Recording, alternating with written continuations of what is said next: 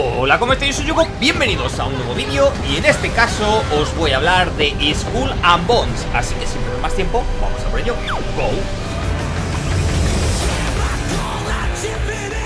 Bueno gente, los más veteranos del canal recordaréis seguro este título de aquella época en la que subía contenido pero a saco de For Honor y es que si mal no recuerdo, Skull and Bones fue pues anunciado por primera vez en la E3 allá por 2017. ¿Cómo son las cosas, no? E3, eh, descanse en paz. Pero bueno, volviendo al tema que se anunció por ahí por 2017, un juego que captó mi atención en ese momento y creo que también la de muchos de los que estábamos jugando For Honor en general, pero que al final el juego pues fue sufriendo diferentes tipos de problemas, cambios en la dirección y que no hizo más que retrasarse y retrasarse y ya pues llegó un punto en el que parecía que jamás iba a salir. Pues bien, después de montones de cambios y adaptaciones, el juego está listo para su lanzamiento el próximo 16 de febrero de 2024. Eso sí, podremos acceder tres días antes con la edición Premium, pero no os preocupéis porque todos estos detalles os lo iré comentando a lo largo del vídeo. Comencemos por partes y yo creo que lo primero de todo es ponernos un poco en situación. Skull and Bones se trata de un juego de acción y aventura de mundo abierto donde podremos emprender diferentes aventuras, lógicamente, tanto en solitario como en un multijugador cooperativo, a bordo de nuestros propios barcos. El juego va a ser lanzado tanto para PC como para PlayStation 5 y para Xbox XS y estará ambientado en el Océano Índico. Podremos ir realizando diferentes tipos de encargos, misiones que irán aumentando de dificultad a medida que vayamos progresando más en el juego y podremos también crear y personalizar hasta un total de 12 barcos. Contaremos con un contenido tanto PvE como PvPvE, donde podremos enfrentarnos en solitario o en grupo a diferentes retos donde también participarán otros jugadores.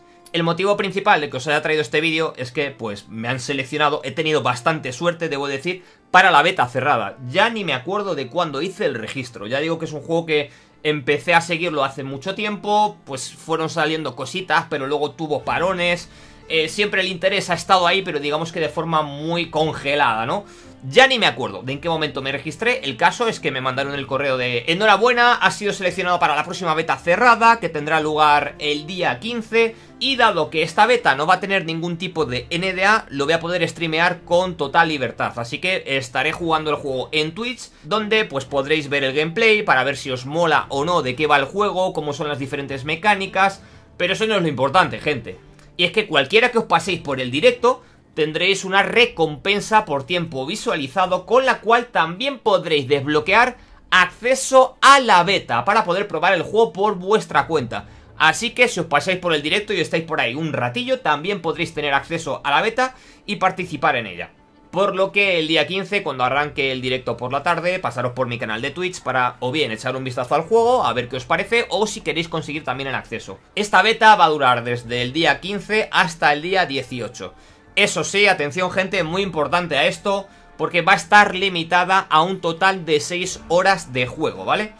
Estas horas de juego van a empezar a contar desde el momento en que entremos, lógicamente, al juego, pero eso sí, va a incluir también los tiempos que pasemos pues en los menús o modificando personaje. En el momento que cerremos el juego, pues se parará el conteo de horas y luego cuando vayamos a abrirlo de nuevo seguirá por donde lo habíamos dejado. Si tenéis cualquier duda con el tema de los requisitos, os lo voy a dejar también por aquí puesto en el vídeo, aunque ya estaréis viendo que para moverlo decentemente hace falta al menos tener un equipillo medio en condiciones, ¿no? Volviendo al tema de la beta, también nos van a dar diferentes tipos de recompensas por participar en ella, como fuegos artificiales, un set de pionero con diferentes customizables y un emote de personaje. Y ya pues voy a aprovechar el vídeo para comentar un poco todo, como he mencionado al principio, ¿no? El tema de las ediciones, para aquellos que en caso de que os mole lo que vayáis viendo sobre el juego, o lo que probéis en la beta, si decidís probarla, vamos a tener dos ediciones disponibles para el lanzamiento, además de la posibilidad también de jugarlo con el Ubisoft Plus. En el caso de las ediciones tenemos primero la estándar, que tan solo va a incluir el juego base y tendrá un precio de 60 pavos, ¿vale? 60 euros. Y por otro lado, pues tenemos la edición premium, que esta va a costar 90 pavazos y nos va a traer el ya conocido Early Access, que en este caso son de 3 días. Podremos empezar a jugar el juego 3 días antes, por lo tanto desde el 13 de febrero podremos estar jugando. Además también nos trae un paquete adicional premium que va a traer la balada de Hueso Sangriento, un atuendo de Capitana de Hueso Sangriento, un barco, el Corsario Ceniciento, además de 11 accesorios adicionales para barco. También esta edición premium traerá dos misiones adicionales y el libro de arte digital con 84 páginas y también su banda sonora y un vale de pase de contrabandista que básicamente se trata de un pase premium para cuando comience la primera temporada. Por mi parte tengo bastantes ganas de probarlo y bueno, ya veremos en qué ha quedado el juego, ¿no? Con todas sus idas y venidas eh, a lo largo de estos años.